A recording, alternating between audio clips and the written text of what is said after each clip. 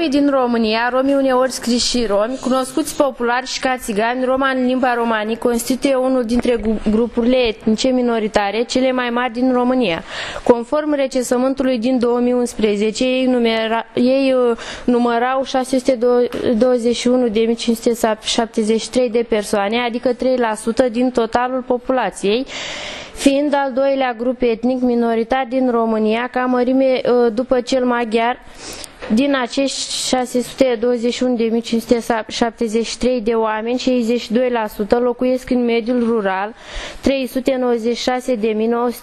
există opinii ca cifra estimată cu corespondența realității, fiind ca mulți uh, din ei ar refuza să-și declare etnia, în Maramureș, Bucovina, Banat, Dobrogea și Moldova, concentrația romilor este sub media țării. Astăzi, membrii minorităților rome sunt încă victime ale discriminării cu cei ce îi împiedică să fie corect școlarizați și integrați în societate. Această realitate există și în alte țări care găzduiesc minorități rome, Ungaria, uh, Slovacia sau Cehia.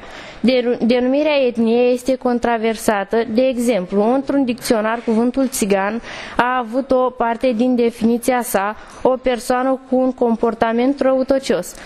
Avocației drepturilor romilor în România pretind că ai chema uh, țigani îi mai izolează din societate de, societatea de masă.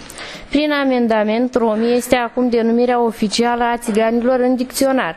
Tradițiile sunt o parte esențială a vieții pentru romi, acest grup etnic a păstrat multe din tradițiile lor de când erau sclavi, cel mai decorat și important eveniment din tradiția lor este nunta țigănească, uh, ca la romi este foarte decorată și strălucitoare.